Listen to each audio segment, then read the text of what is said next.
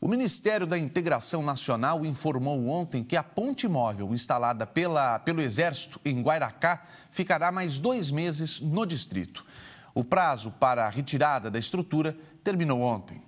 A decisão foi tomada após consultar a disponibilidade da estrutura junto ao Ministério da Defesa. Em nota, o Ministério da Integração Nacional ressaltou que é apenas uma solução temporária utilizada para ações emergenciais e imediatas, que pode ser mantida no período de até seis meses. E que a prorrogação é uma solução alternativa até que a Prefeitura de Londrina encontre uma solução definitiva e que já disponibilizou 8 milhões de reais para a reconstrução de pontes no estado, incluindo a de Guaracá.